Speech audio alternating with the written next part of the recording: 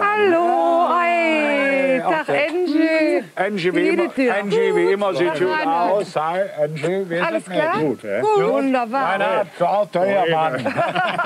Wer Deine da? Schuld. Ja. Was passiert heute Abend? Das ist eine Talentshow.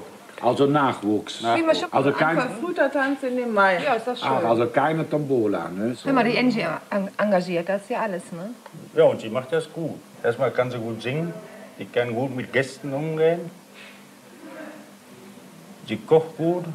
Nein, ich, ich, ich mache beides, äh, ger also beides gerne. Ist jetzt nicht, dass ich lieber dies mache oder das mache. Äh, ich warte mal.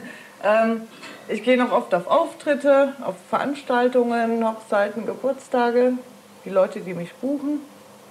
Zwischendurch, dann habe ich hier Aushilfe. Ja, ist das schön. Ach, dich kann man mieten. Dich kann man mieten. Als Alleinunterhalterin und so.